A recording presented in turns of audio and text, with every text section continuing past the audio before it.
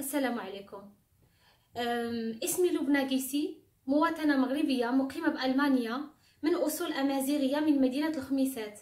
كنوجه هذا النداء وهذا التظلم لجلالة الملك محمد السادس نصره الله وأيده. لأنه ولي أمري وراعي البلاد ولأنه الوحيد اللي هز الهم ديال الجالية وكيتذكرنا دائما في الخطابات ديالو وكذلك لأن جلالته من نادانا للاستثمار في الوطن الحبيب وحنا سمعنا وأطعنا. وجينا بكل رأس المال وبكل حماس وبكل ثقة للاستثمار والمشاركة في بناء المغرب الجديد. سيدي أعزك الله وسدد خطاك. أنا تقدمت في نوفمبر سنة 2015 للكتابة العامة بعمالة الخميسات بملف مشروع سياحي على أرض بيت الرومي بإقليم الخميسات على شكل منتجع خشبي إيكولوجي صديق للبيئة. فالسيد الكاتب العام السابق آنذاك أرسلني بتوصية لمديرة مركز الاستثمار بالرباط اللي عجبتها فكرة المشروع ووعدتني بالبث فيه في أقرب وقت ممكن. لكن ومنذ ذاك الوقت وأنا كناضل من أجل كل شيء من أجل الحصول على رقم الملف ومن أجل عدم الضياع ديالو ومن أجل انعقاد لجنة الاستثناء ومن أجل البث في المشروع. اللي لم يتم البث فيه لحد الآن بقرار رسمي معلل لأسباب لا أعرفها. وليت بحال كرة الطاولة كانت تراما شخصيا ما بين الإدارة وألمانيا وما بين ألمانيا والإدارة. لا تجاوب لا برسائل ولا بالإيميل ولا بأي طريقة محترمة كيتداولها العالم بأسره لتبادل المعلومات في عصر العولمة والإنترنت.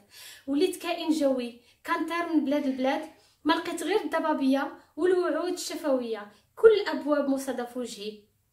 والإجراءات الرسمية الوحيدة الهزلية اللي اتخذتها معايا اللي اتخذها معايا مركز الاستثمار مؤخرا كتعتبر مجرد أفخاخ لمحاربتي. لأنني تجرأت وراسلتهم عن طريق الأعوان القضائيين بعد أن طفح الكيل ومن بعد أكثر من سنتين ونصف من الانتظار ما بين الأمل والوعود والإحباط.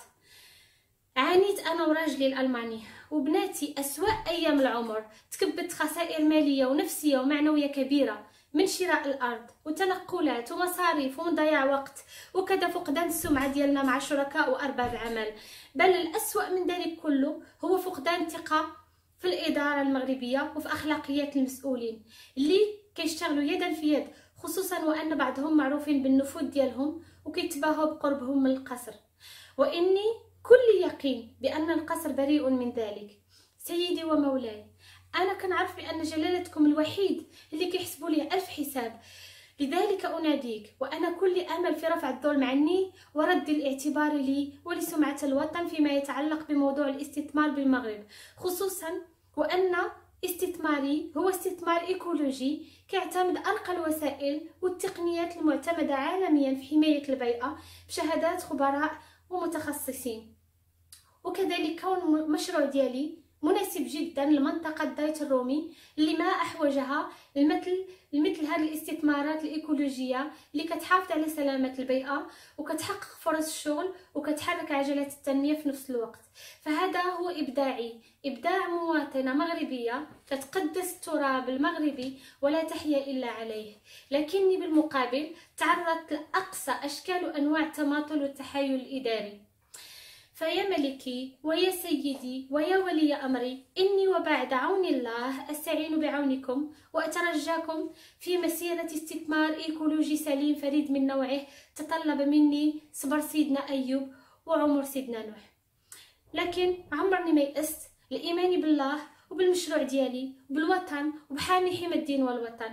رعاكم الله وأعانكم وسدد خطاكم وجعلكم إن شاء الله سندا لي في هذه المحنة. والسلام عليكم.